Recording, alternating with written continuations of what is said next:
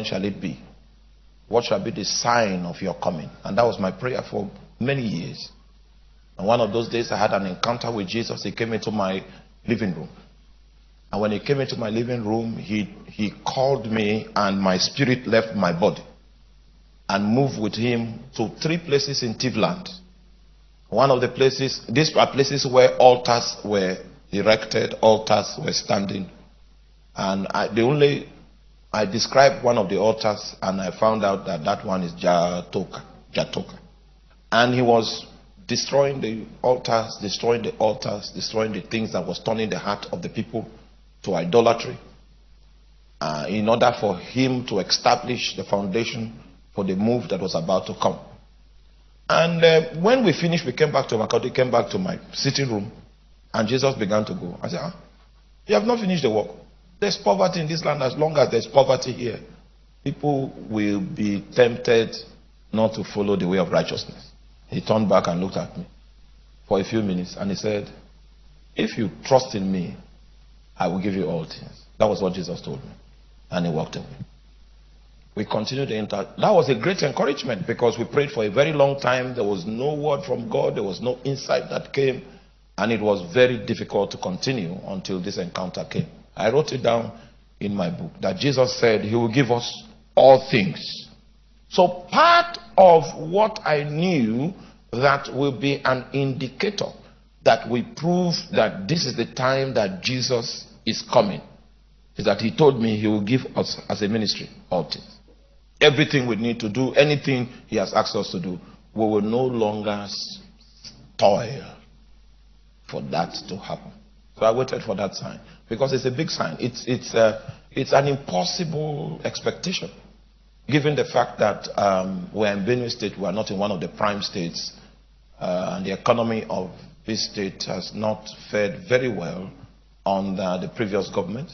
So to expect that we will have full supply to prosecute the calling that God has given unto us corporately was a little bit outside of the box, especially if you are a thinker like myself. And we waited for that sign to come to pass. And subsequently, after about seven years from that encounter, um, then prophecies began to flood again. When we started this ministry, there was no prophecy. So we increased the tempo, the prayer tempo. We increased it, intensified it. And a time came when it became, once in a while, we'll pick some feedbacks on the mind of God. Sometimes it comes as warnings to bring us back into alignment. Sometimes it comes as encouragement in order for our hearts to be strengthened in the conviction that the Lord has planted upon our soul. Sometimes it comes as things to watch for and we continued in the navigation as the light of the Lord led us. The first symptom that this scripture that I read to us reveals that will characterize the season in which we speak about is the symptom. I'm talking about the Benue revival. I don't know how it was is designed to happen in Kwara State. I don't know how it's designed to happen in Lagos State.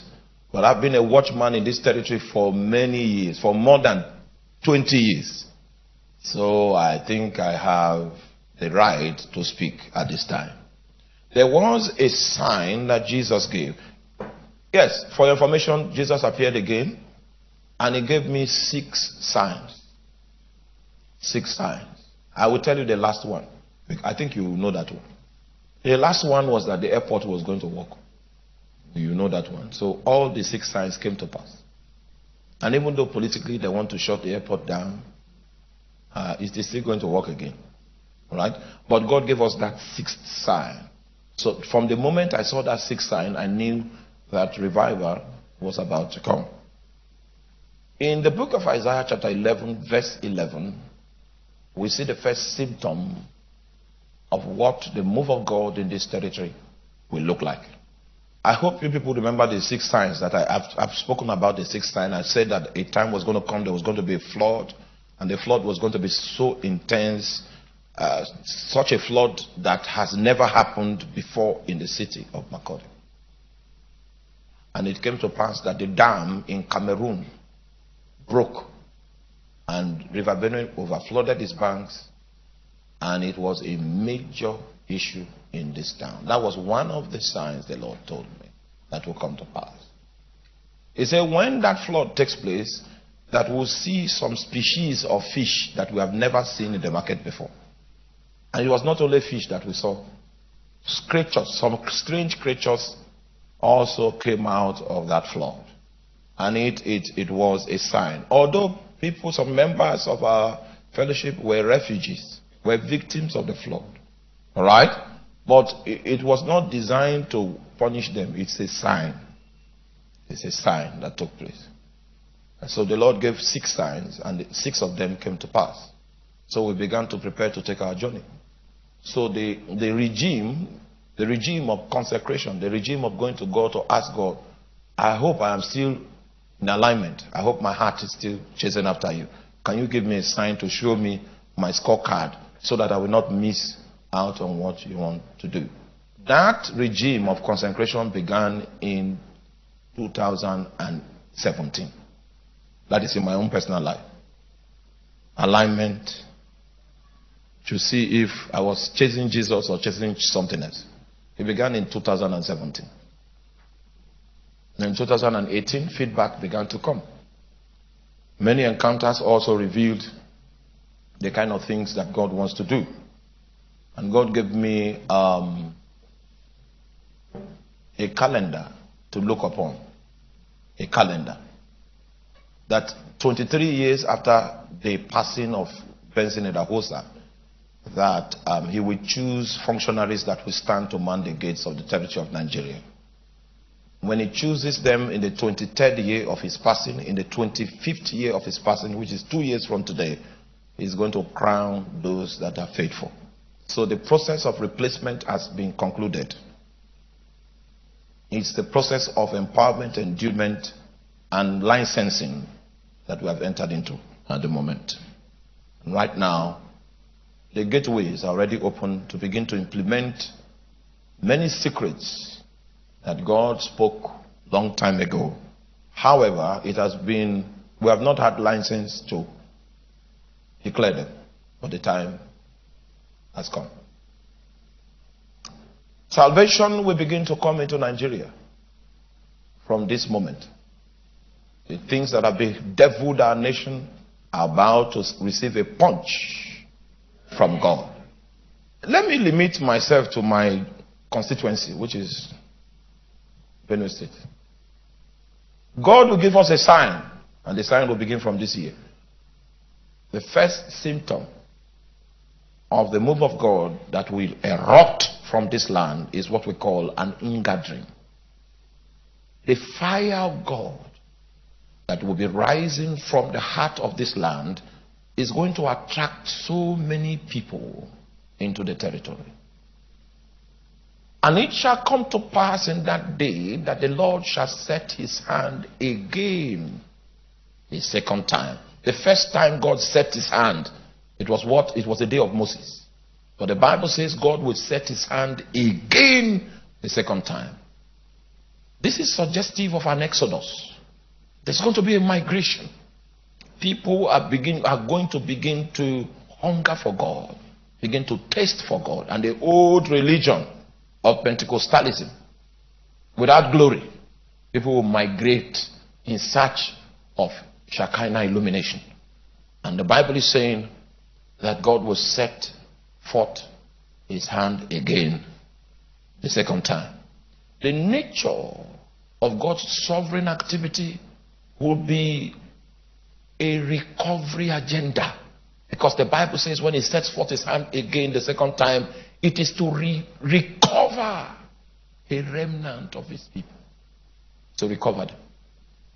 So there's going to be a recovery initiative that is going to begin to take place in the lives of men. It, men will be called back to the place of alignment. And this recovery initiative is going to be so massive that it will begin to attract people into this territory called Benue State. There is going to be an attraction, an ingathering. People will be coming from different parts of the world to tap the fire of God from this land. And as the agenda of God grows in the land, God will begin to deliver our nation. I don't want to go into this, the national aspect of things. I just want to tell us what to expect in the days to come. It shall come to pass in that day that the Lord shall set forth his hand again the second time to recover the remnant of his people which shall be left from Assyria, from Egypt, from Pathros, and from Cush, and from Elam, and from Shinar, and from Hamath, and from the islands of the sea. First of all, like us to tamper these scriptures with, with caution. All of those nation states that you are seeing there, um, Assyria, Egypt, I hope you know what he's stretching forth his hand to do is to recover the remnant of his people. Those nation states you are seeing there are symbolic of denominations. That um, God has remnants in various denominations. And for those of you that understand what I'm talking about, you will know that the remnant factor is not a name of a ministry, is a strategy of the Spirit.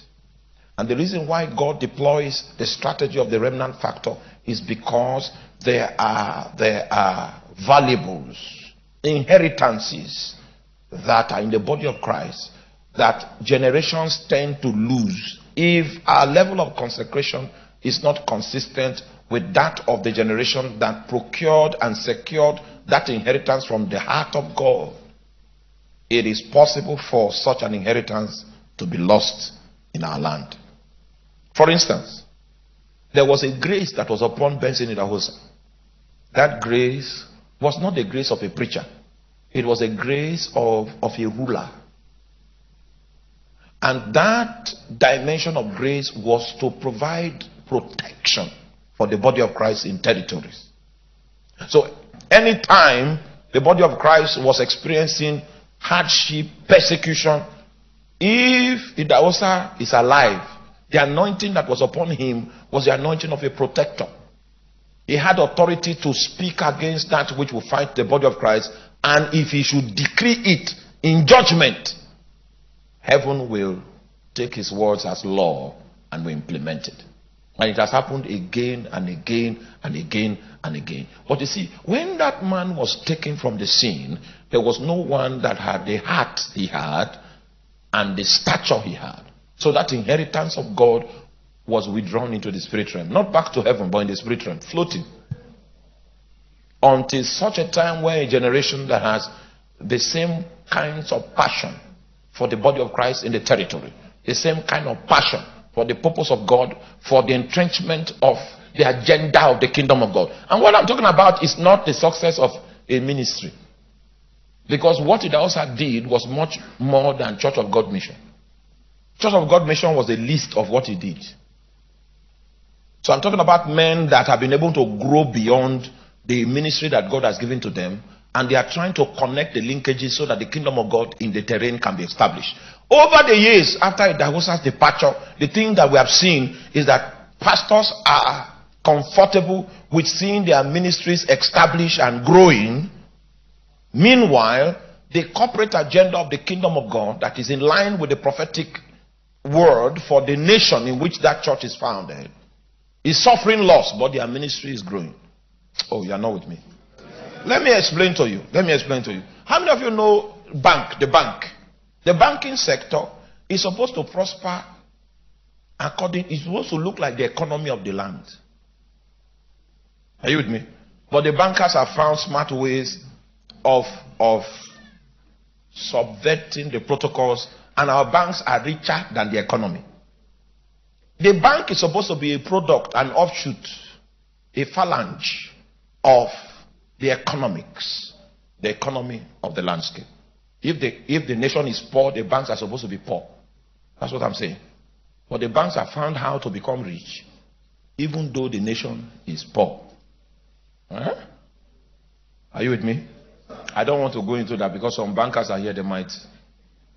So I'm saying that the, the ministries that are situated in the landscape are supposed to be as powerful as, as, as the profit that God is making from that territory. But we have a situation where we have ministries that are so massive, and the agenda of God for the nation has suffered a 32 year loss. You know the meaning of that situation? Okay, you don't know. So let me leave you. You don't know. You don't know. It means that the church, our local churches, our denominations, have found another agenda, are pursuing another agenda that is not God's agenda. So, in that agenda that we are pursuing, we, have, we are succeeding, but the agenda of God is failing. And the reason for which every ministry is established is to support the agenda of God. Every ministry is supposed to be a product of the agenda of God in the land. Did you get that? All right, so that man had a grace upon him. And the grace that he had upon him was for the body of Christ on the continent.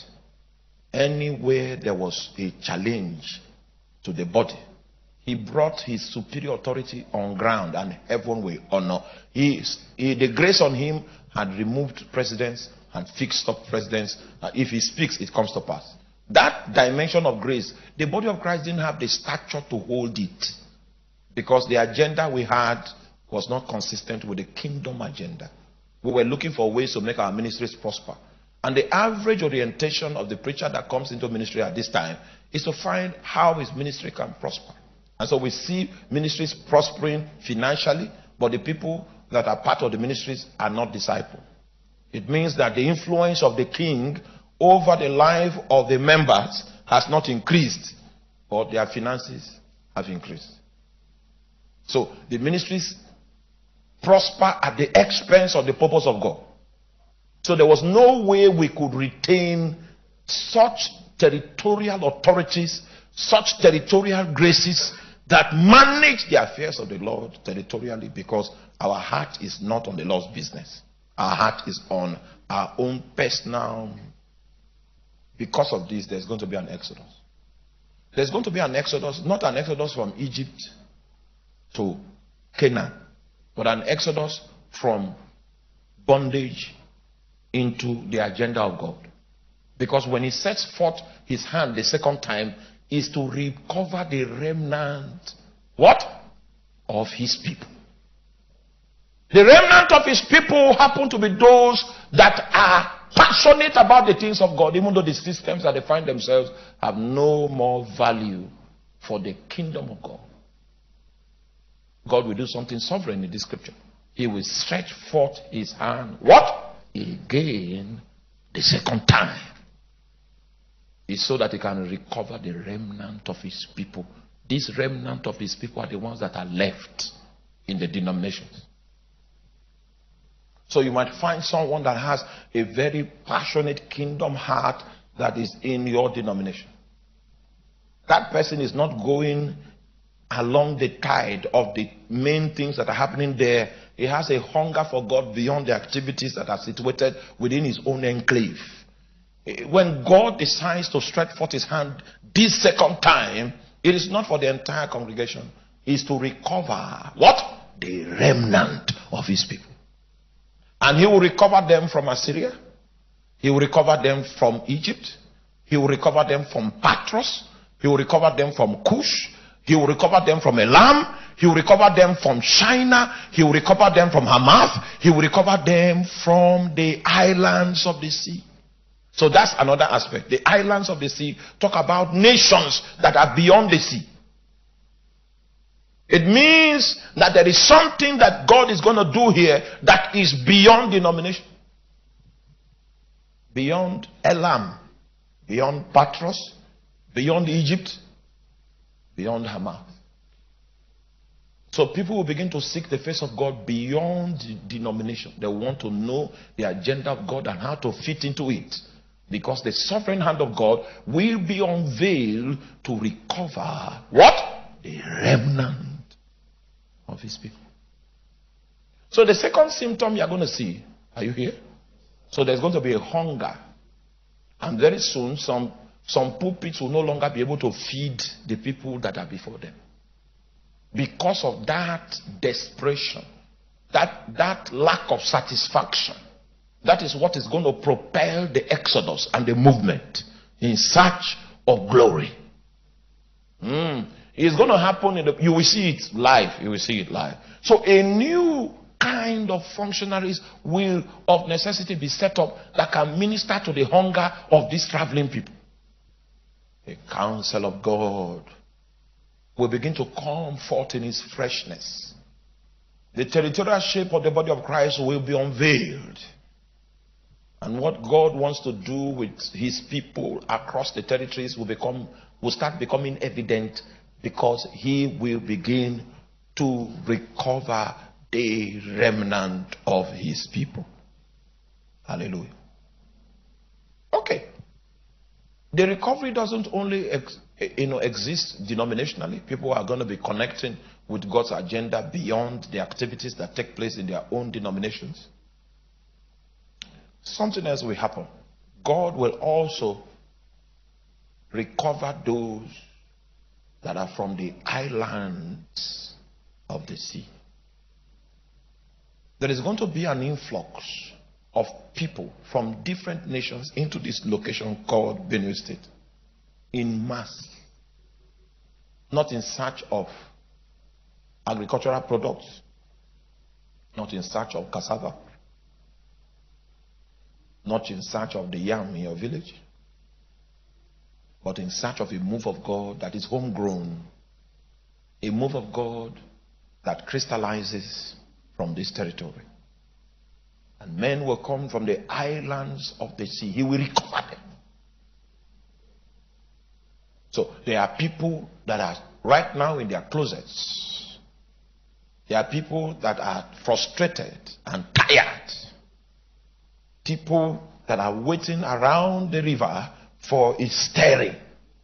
Such people are going to receive attention from God because He's going to stretch forth His hand again the second time. There are a few things to expect here. First thing to expect is the level of the hunger is going to increase. Therefore, the ancient culture of intercession and supplication will be restored. There are so many things a preacher can tell you, but what a preacher can tell you will not be as the same as what Jesus can tell you. So we are not going to outgrow the need for preachers, but even though we are, we have powerful preachers that can bring the mind of God, everyone is going to be taught how to seek Jesus. So the ancient culture of supplication, the ancient culture of intercession is going to be restored and prayer will come back again to the quarters where the eyes of the Lord is upon to build what will be befitting for his glory. Prayer will be restored. Now, I told you a few stories about the prayer group I was in while we were still on campus. And we began to push in the place of prayer, began to advance stuff in the place of prayer. And, and, and the, we, we, we discovered that God was actually delighted in that which we were doing. And because He was delighted, He began to speak to us. So the question now is thank God for this, our little fellowship. Uh, but if if there are no spontaneous moments, you know what I mean by spontaneous moments? Moments that the Holy Spirit hijacks our proceedings, hijacks what we are doing, penetrates our praise and worship, takes over the service, makes our program of service obsolete so that he can unveil his mind. If those forceful sovereign moments are not part of our, our apostolic experience, it might be suggestive of the fact that the glorious dove of the grace of God that comes to administer new things, new technologies out of heaven uh, might have flown away. When prayer begins to build, It means corporately we are saying we don't know the way. We need God's help. We need God's intervention. And under such circumstances, God normally intervenes sovereignly. Sovereignly. We just come for a service, a normal service, and then the spirit of prayer comes so powerfully. And you will know that what the Holy Ghost is doing that day is prayer. There's something He wants to cut off. Even though you are a preacher for the night, if you are sensitive, as that prayer rises, you will know that. Uh, you know, in the days of Solomon, the glory came so intense and the priest could not minister. There are times when your own, thank God for the message you receive by inspiration. Thank God for the prayer that you have prayed to incubate the message. Thank God for the potency of the delivery. But there are such times when the glory of God takes over where your own ministry is dwarfed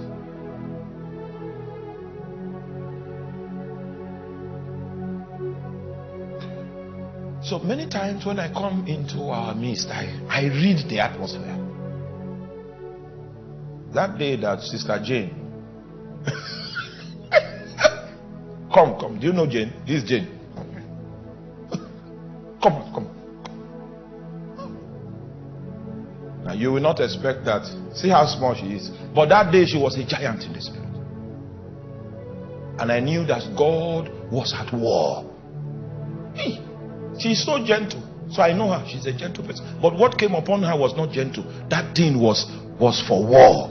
So when I discerned it, I said, ah, the great one wants to destroy something. You are released. And the great one wants to destroy something. And as we continue, and I, it was time to preach, and my pastor told me, uh, okay, it's time. You, you know, there are times when your the program is 12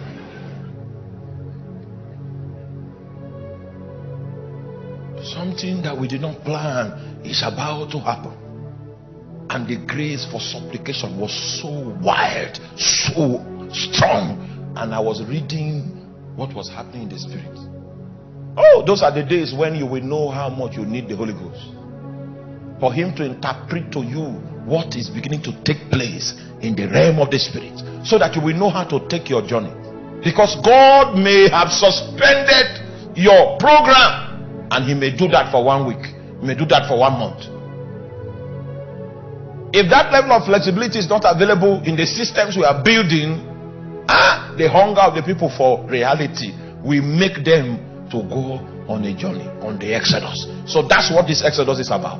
People's heart will begin to yearn for that which God is doing in their territory. People's heart will begin to desire for that which God is beginning to do in the land and men will begin to journey. As powerful as Egypt is, it will not be strong enough to hold people that are traveling because it is the hand of the Lord that is set forth again the second time. And it was a war that night. As that lady was ministering that night, I saw it was a war. God was at war. God was, that's how seasons change. No season changes if there is no war. If you follow the move of God in an accurate fellowship, you will know when seasons are changing. Suddenly, Satan will rise. His wickedness will intensify. And then, after a while, the Lord will rise too. You will see it. You will see that movement. And then, when He clears the way, the new technologies, new things, destinies of men that have been shot destinies of men that have been closed for long can begin to open. God can begin to attend to things that have been silent for a long time because God works with seasons. The Bible reveals that for everything that God intends to do, there is a season in God that is allocated to it. And that's why you might be praying fervently, expecting God to intervene, and it is as though God is not attending to your prayer. One thing you must understand is that His responses are consistent with seasons. Seasons. Seasons. Do you know how long we prayed that, oh God, make our ministry grow? Oh, Father. Is it not written? that in the multitude of people is the king's honor. Jehovah! There was no prayer we didn't pray for growth. Instead of growth, we saw people leaving. Because when they came and saw the prayer temple, ah, say no. We have not so sinned so terribly that we need to be praying like this. I remember when we were on campus, one of my classmates said, What sin have you people committed? I saw you people pray one prayer and you were doing like, ah! What sin have you committed? Hmm. The response of the Lord was captured within a season. And that's why for the Lord, what matters is will you be faithful enough to arrive the season where the answer to your prayer is found? There was a brother those days that was prophetic. He used to give accurate prophecies. And he gave a prophecy that time. And before the prophecy came to pass, he had backslid. Because even the fulfillment of that prophecy was captured within the season. But he could not keep his life with the Lord until the fulfillment of the thing that God has spoken. Has the Lord spoken to you? The answer is in a season. The question is, will you be around when he will bring it to pass? The prophet had backslid. Meanwhile, the prophecies he gave, they were like spirit guided missiles shot into the future. And they did not need him to help the management of those utterances. In the day of his fulfillment, he had backslid. Do you know what we did? We went and showed him his prophecy that had come to pass. That was what brought him back to the kingdom. We didn't preach to him because he's so knowledgeable. See, on this day, you prophesy. May the Lord give us the capacity to stay faithful until we arrive the seasons where our prayers were programmed by His glory for manifestation. For it is written that it's the glory of the Lord to conceal a thing, and it's the honor of kings to search it out. I pray that kings will rise from among us, such men that can search out the things that have been concealed by the glory of God. Hallelujah. So, these are the two signs. We are going to stop here because of the night vigil. These are the two signs. If we have time, we'll continue. But you see, the power of denomination. The power of the denomination. You will see it will weaken. This is, these are the days when God raises voices that can speak to nations, that can speak to kings. And then people will begin to see beyond their conclave and enclave. Oh, he will stretch forth his hand again the second time. These are the days of pilgrimage. Despite all the hurdles of COVID 19, you are going to see men leave nations in search of the true light that lightens every man that cometh into the world. And God, by his wisdom, told us many years ago that Benue State in the city of Makurdi will be one of the stages that he was going to raise to converge nations. He told us. It's about 23 or 24 years ago now. 24 years ago. So, as a roundup, if I have more time subsequently, I will show us more from this scripture. Clues.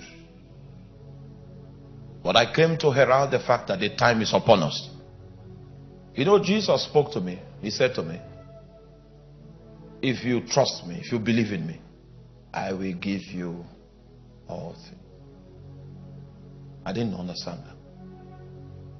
Until we wanted to build the embassy. Our account balance as a ministry was 12 million. We came to the site. We discussed what we wanted to build. All the engineers gave us all the intricacies that are involved. And we began to excavate. Deployed the first um, trench. From that 12 million, when we said we wanted to build, 3 million came in it became 15 million. So the first amount of money we released was 15 million. Moment we released 15 million, few weeks later, we got the 15 million back. Before they could finish spending the 15 million, we got another 15 million. By the time they were coming to ask us for another 15 million, we had 30 million. So we gave them 15 million. Before they could finish that 15 million, we had another 15 million. And Jesus said, when he comes back, he will give us all things. So I said, hmm, is this the time that you spoke about? Well, we say, well, maybe it's a coincidence. They finished the other 15 million, and then we had 45 million. We gave them 15 million. And the supply was sustained for 12 calendar months from June to June. Then I knew and the time for the Exodus has begun. The spirit of supplication will burn strong. All wise men should know that it is that which God has approved in the secret that He will promote in the open. Now, a lot of people are have their ministry on Facebook because it's about how many likes, how many views, how many. and everything is a show. What God is going to promote is what has stayed hidden for a long time and it has fermented and matured. That is what He's going to promote. The Bible says that our God is a God that sees in secret. However, when He rewards, He rewards openly. And when God wants a man to come out of obscurity, what he will do is that he will deposit authority upon him. When you speak to two women with fibroid and they pass it out, you speak to the third one with fibroid, she passes it out. You speak to the fourth one with fibroid, he passes. And I spoke to asthma. I said, asthma, hear me. In the name of Jesus, come out of the lady. She fell and began to cough. And I told the congregation, this is when you are, this is a sign that we spoke to asthma and he heard you. This thing you are seeing now. They hey. I said, all right, leave her. She left. Instantly, she was healed. She followed me to the next meeting, and I was talking about her testimony. And I now saw her in the convention. I called her. So, tell us what. Say, a, a young man from Africa. Everywhere we went, people followed us. The deaf, could hear, the blind could see. In fact, I came for one meeting. And as I rebuked the demons, I saw old people were possessed. Old people were possessed.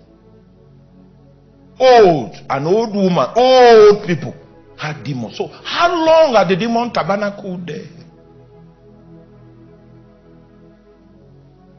My question to you today is Do you have any secret thing with God? If you don't have any secret thing to God, there will be nothing for Him to display in the open. Everybody wants to rush into the open as if it is is a human being that can give you visibility. If you have no backbone in the secret, God will have nothing to advertise. Oh, we moved to London and I was on the pulpit like this and I saw a spirit come out of the water and put the hands on the waist like this. Ah, I say, oh, this is London. But I see a spirit come out of the water. And I hope you know they won't believe me. When I release power, the people that manifested were not supposed to manifest. Not. Ah. Guess where I practice all those ones? It's in the manger. Until I mastered it. I understood the texture of the anointing. I understood the texture of the voice of God. When God speaks to me, when He wakes me up in the morning and say, Beware. I have known it. People were amazed as we rebuked the water spirits. And those destinies were open. We saw organs healed, bodily organs. Healed.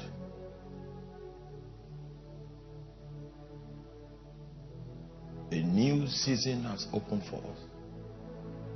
The Lord has promised that His power to heal will be so much among us.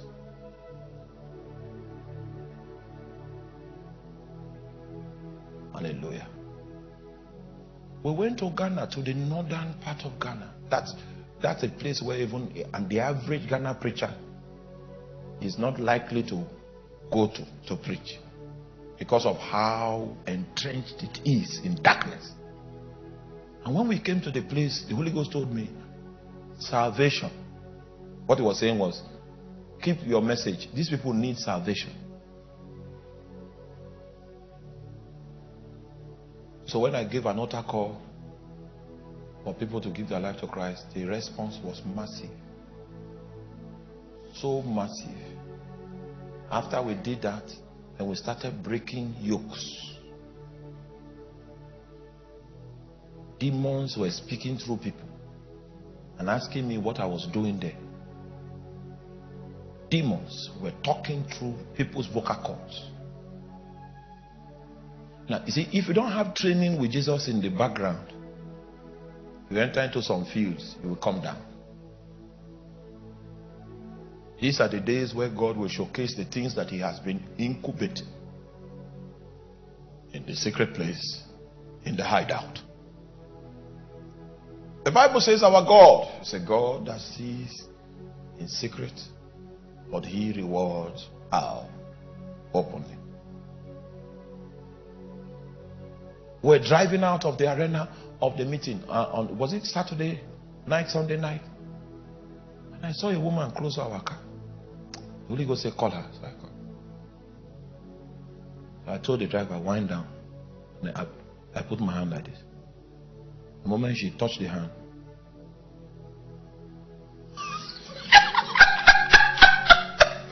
I said, Touch it.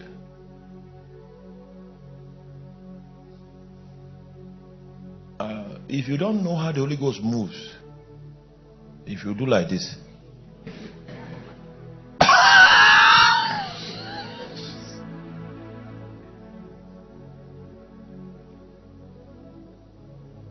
Are going to pray tonight. You will not waste your, your silent years. Your silent years are the strong years. Those are the moments where you cut covenant with God. And when you stand on the platform 10 years later, what will power that platform will be the covenants that you cut with God in the days of silence. Don't waste it. Demons and devils will visit you and say you are wasting. You are wasting time you should have been on the front lines. Let me tell you something. I was just, this is my classmate in the university. We're discussing. One of our classmates, he just met him. The degree he went to get from this school, and he added masters. He has not worked with it since that time. And we are above 40. We are, he's still looking for a job. That's a man that missed his way. Do you understand what I'm talking about? He's still hunting for a job. If only he can secure the heart of God, maybe he will realize it was not the plan of God for him. Your secret is holds all the powers of the covenant that will trigger your destiny. It holds all, all the powers of the commitments from the mouth of God that will become a springboard in the days to come. The most intelligent student in our class that time is a lady, very sharp. I saw her many years ago. The race is not to the swift. And the battle is not to the strong. But this is a story I can tell you that is reliable. If you waste time with God, you will not waste time with men. Something is upon us, and our land is about to experience a visitation. History will be made upon our borders like it was made in Jerusalem when Jesus walked among the sons of men. History will be made in our little city. And our little city will become a center of attraction. The eyes of many people will look into our little city because God is bringing a visitation into our land. He will set forth his hand again the second time to recover the remnant of his people. I will not miss that day. I will not be excluded from his agenda. My name will not be deleted, it will not be blotted out. Oh, I want to be in the forefront of what God will do. Just like Elijah, he modeled an anointing so much that heaven now called the name of the anointing Elijah. Uh, the all the dimensions of the empowerment that the anointing brought, he maximized it to his fullness. So much so that he the anointing now got a nomenclature. The anointing was called Elijah. And the book of Malachi, the Bible says, Behold, I will send Elijah. He didn't say the spirit. He said, I will send what? Elijah. He was talking about an anointing, but he, he said he called the anointing Elijah. I want to model the grace of God so powerfully that that that God will have to say, I will send Arome. Cobelia. Ah, ah. The time has come for God to have spokesmen for kings again, like he had in Idahosa. That people will invite to nations to give direction to kings to senators, to people that craft laws, to provide platform for the things that God wants to do in their nations and in their territories. The season changes from our normal charismatic churches to something that is very apostolic, that has the authority to entrench God's in a territory. Oh, I, I want to model an anointing. I want to model the grace so powerfully and advertise his powers and his ability to establish the will and the purpose of God so that the anointing will be named by my name. Can we pray tonight? Don't waste your secret years. Don't waste your time in oblivion. Don't waste your time in the shadows. Because the Bible says that God, even though He sees in the secret, He will reward openly.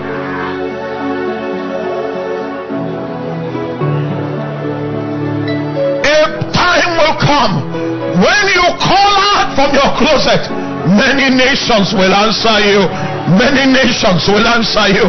Many kings will answer you. Many nobles will answer you because of the depth, the depth of your foundation, the depth of that which is coming through your life, the depth of that which flows in your ministry.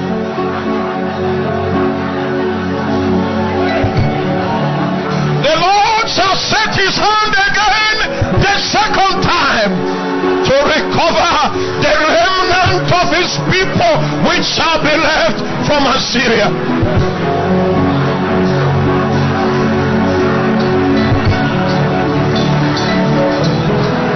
He set his hand before and he will set his hand again. It means there is one from among us that will wear the cloak of Moses.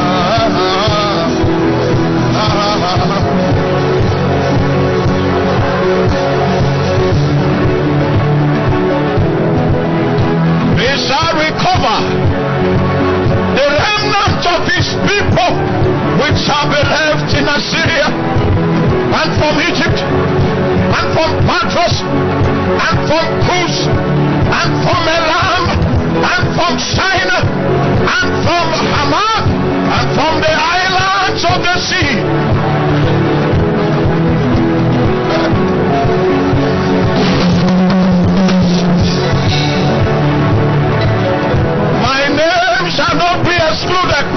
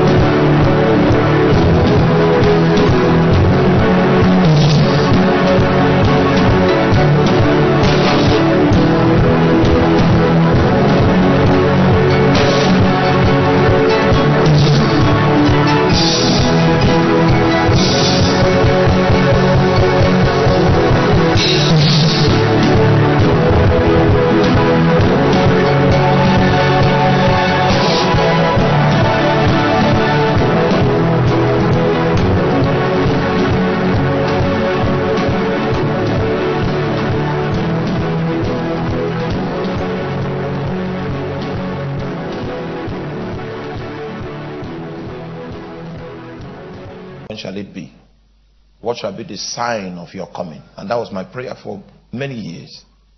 And one of those days I had an encounter with Jesus. He came into my living room. And when he came into my living room, he, he called me, and my spirit left my body and moved with him to three places in Tivland. One of the places, these are places where altars were erected, altars were standing. And I, the only, I described one of the altars, and I found out that that one is Jatoka. Jatoka. And he was destroying the altars, destroying the altars, destroying the things that was turning the heart of the people to idolatry, uh, in order for him to establish the foundation for the move that was about to come. And uh, when we finished, we came back to Makurdi, came back to my sitting room, and Jesus began to go. I said, ah, You have not finished the work. There's poverty in this land as long as there's poverty here. People will be tempted not to follow the way of righteousness. He turned back and looked at me for a few minutes and he said, If you trust in me, I will give you all things. That was what Jesus told me. And he walked away. We continued the inter. That was a great encouragement because we prayed for a very long time. There was no word from God, there was no insight that came.